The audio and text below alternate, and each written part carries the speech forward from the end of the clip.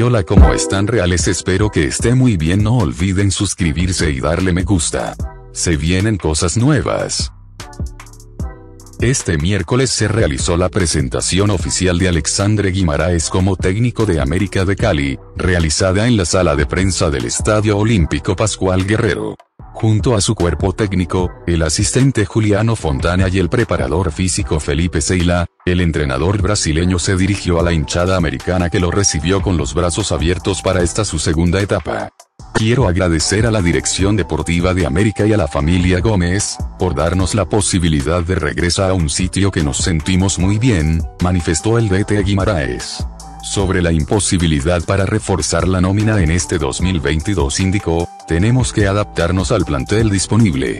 A partir de ahí, veremos en los entrenos la posibilidad de plantear el juego que tuvimos acá y dependerá de los jugadores que tenemos acerca del clásico vallecaucano frente al Deportivo Cali, que además servirá como su debut, dijo, no vamos a caer en la tentación de decir que Deportivo Cali solo quiere jugar seriamente la Copa Libertadores porque un clásico siempre será diferente.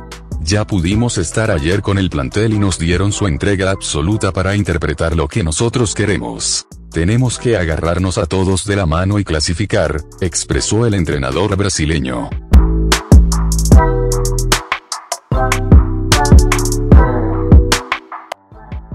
Su condición y su criticidad son extremas, es el nuevo parte médico sobre la situación de salud del exfutbolista Freddy Rincón, que sufrió un grave accidente de tránsito durante la madrugada del lunes en la ciudad de Cali. Su condición y su criticidad son extremas, es el nuevo parte médico sobre la situación de salud del exfutbolista Freddy Rincón, que sufrió un grave accidente de tránsito durante la madrugada del lunes en la ciudad de Cali. Así lo señaló el jefe médico de la clínica Imbanaco, Laureano Quintero, en la mañana de este miércoles, quien precisó que la condición de Rincón sigue siendo profundamente crítica y que los seguimientos, las pruebas diagnósticas, los estudios radiológicos y la condición clínica no muestran una evolución favorable. El médico Quintero reiteró, que el pronóstico de la leyenda del fútbol colombiano sigue siendo muy reservado e insistió, debe ser claro, repito, que la evolución no es favorable y que la condición sigue siendo extremadamente crítica.